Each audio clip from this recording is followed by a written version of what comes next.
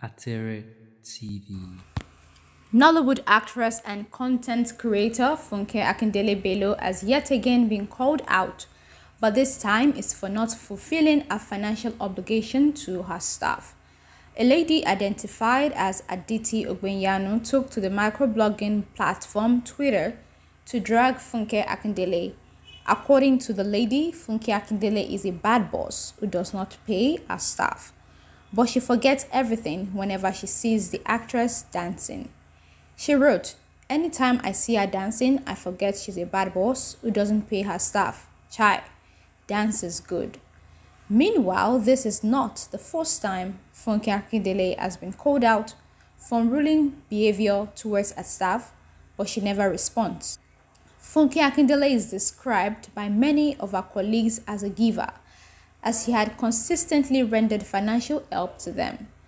Nollywood stars such as Alesh Ola, Bimbo Success, Kemi Korede, Fathia Balogun, and many others have once publicly expressed appreciation to Funke after assisting them financially. This makes us wonder why Funke Akindele is constantly called out for being a bad boss and not paying her staff. In a twist, Funke Akindele is a very hardworking lady, and we could say some of the alleged negative attitudes towards her staff could be because of their carefree attitude to work and laziness. Recall that Funke Akindele refused to keep calm after bagging nine nominations at AMVCA 2022. The actress whose movie Omo Ghetto the Saga is the highest grossing movie in Nigeria and the most watched on Netflix added another feat as a movie takes the lead at African Magic Awards. Taking to her Instagram page, Funke Akindele showed off her dance moves as she appreciated the organizers for the nomination.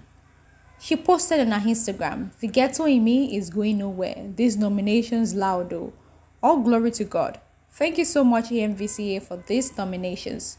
A big congratulations to the cast and crew of Omo Ghetto the Saga. We killed it.